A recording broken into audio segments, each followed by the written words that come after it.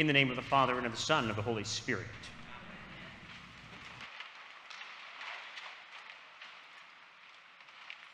There is one thing needful, Father. Said there is one thing needful, Father. Father. It's the prayer of Jesus, remember? All year we've been on this prayer. Father, you won't pray it enough, but we can't. And our sinful nature constantly leads us away from the prayer, but Jesus brings us back to it again and again. The one thing needful, Father. We see this in the lives of two servants, Martha and Mary. And it's easy for people in today's gospel to try to compare themselves to one or the other. Are you a Martha or are you a Mary?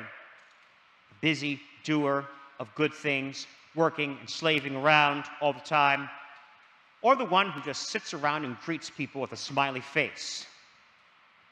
And there are many Marthas in the world who want Martha defended.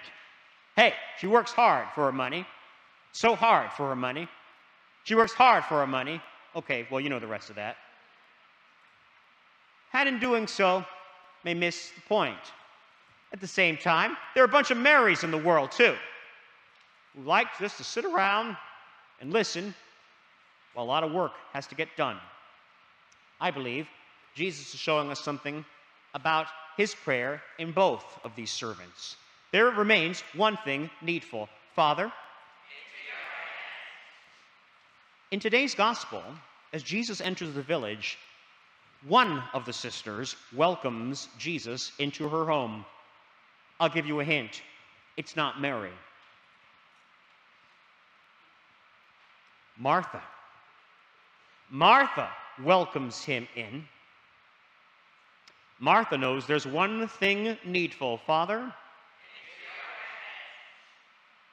and wonderfully, following the example of Father Abraham in today's first reading, who, upon looking up in the tent, saw three guests outside, recognized in this powerful plurality that the Lord Himself was there visiting His people. And when the Lord Jesus is knocking on your door, my friends, there is one thing needful Father, you may not have vacuumed, you may not have swiffered, you may not have dusted, you may not have cleaned, but my friends, when Jesus is at your door, you better open. For he has good things in store for you, just as he did for Martha. He came into her home where she herself had been working, like he came into the home of Abraham, who himself recognized that it was time to get one of those from the herd of cattle. Time to get some curds and milk. And time to ask Sarah to bake some bread cakes and feed these guests who had arrived. For in doing so, we welcome Jesus just as Jesus welcomes us. It's not that Jesus is welcomed into the house of Martha as much as it is that Martha had been welcomed into the house of the Lord. Through the waters of holy baptism, God brings us into the house. So that no matter how busy we are, no matter how many things there are on our to do lists, Jesus has time for us and space for us and meets us there in the busyness of our everyday lives and allows us with Jesus to pray the one thing needful Father, for those hands of Jesus were open just as the Father's hands were open, bringing Martha into his life and into his experience, so that just as Jesus would go to the cross and suffer and die for the sins of the world and rise from the dead that we might have life and healing in his name, that Jesus is delighted when we can welcome him into our home. You are Martha's today. With the many things on your own to do lists, dare I look at your Google calendars? Dare we put up on a screen somewhere all of your emails? Oh, we have plenty of things to do. And in those plenty of things to do, by God's mercy, by the power of His Spirit, working in the Word and sacraments, you have welcomed Him. Hallelujah. Because He first welcomed you.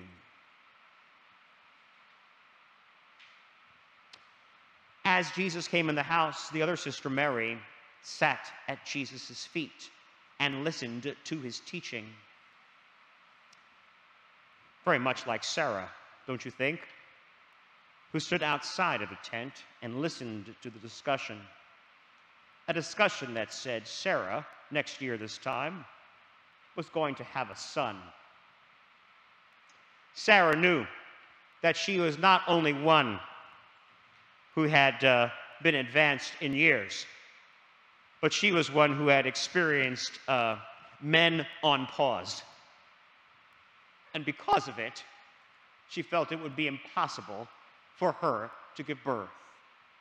She laughs. But that laughter, that Yitzhak, becomes the name of the very child she bears. You know, sitting at the feet of Jesus can often lead to provocative surprises as God reveals his mercy and love to us, surprising us with joy where we never thought about it or expected it, and surprising us with awesome deeds of righteousness, if only we would sit at his feet and listen. For there is one thing needful, Father. Father, hence our opening hymn today. Speak, O Lord, as we come to you to receive the food of your holy word. I know it's one of your favorites, Redeemer. We love that song. It's so rich, reminding us that God brings us such depth. But he brings us to his feet to listen to him. That depth can surprise you. As God says, next year, this time, you're not going to have that ailment anymore. And next year, this time, you're going to have an even better job. And next year, this time, you're going to be reconciled with those family members. And right now, you may laugh, but my friends, when Jesus says it, it shall be so. And as it is so, Mary prays with Jesus, Father, listening to Jesus, as Sarah prays, Father, and Abraham prays, Father, and Martha says, Wait a minute. I'm busy here trying to curry this goat. I'm trying to put 500 cocktail beef patties on a platter to share. I'm trying to get things ready for this banquet, and I'm slaving around in the kitchen from place to place and part to part. And Mary's sitting around. Jesus, tell her, get up and help me. But that's not what Jesus does. He says, There's one thing needful. Father, the one thing is Jesus sitting at his feet, hearkening to his word, not being distracted by even the good things that occupy our time and our lives. There can be many good activities, wholesome activities, edifying activities, efficacious things. My friends, nothing compares to Jesus. David the psalmist hit on the head today. You heard it. One thing I ask of the Lord, and this is what I seek after that I may dwell in the house of the Lord all the days of my life, to gaze upon the fair beauty of the Lord, and to inquire in his temple. My friends, we look around in so many different directions for that happiness, thinking that if we can knock off the items of our to do list, that we'll be happier. Let me tell you on behalf of all of those who actually get things done in the world, you can knock off a bunch of things on the to do list. and a whole bunch more are going to get added to that list. Happiness and joy and peace don't come from what you've accomplished. Happiness, joy, and peace come from what Jesus has accomplished. He went to the cross, He suffered and died, He rose from the dead, He ascended in glory, and He's coming back at the end of time. So that by the power and mercy of His Spirit we might see Him and three strangers that come to our tent door. We might see Him in a traveling pilgrim who comes into our village. We might notice Him among the poor and the needy and the outcast, the rejected and dejected and despised. We might see him in the eyes of children and hear him in the shrieks of older adults. There we might see God coming to us in our lives. And like Martha and Abraham, God help us let him in. And like Sarah and Mary, God help us sit and listen to what he says. Commending things to our Father is not relinquishing a sense of responsibility.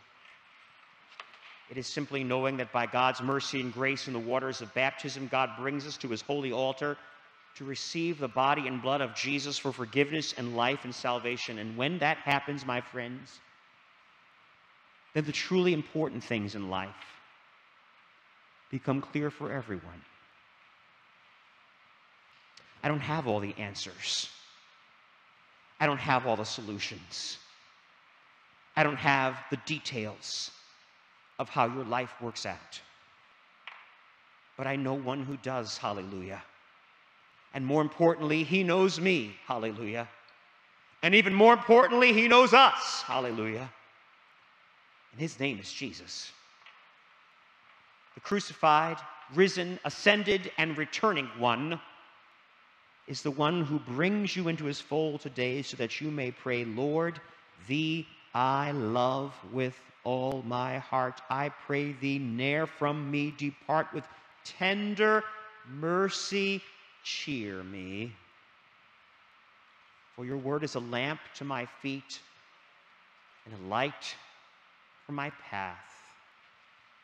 And as it is, my friends, we gladly welcome Jesus as he has welcomed us first. And we take our place at his feet today. Under the oaks of Mamre. And there under the cross, we dine with him as he dines with us and we join the prayer of the one who teaches us all along that there is one thing needful. One thing needful. Father.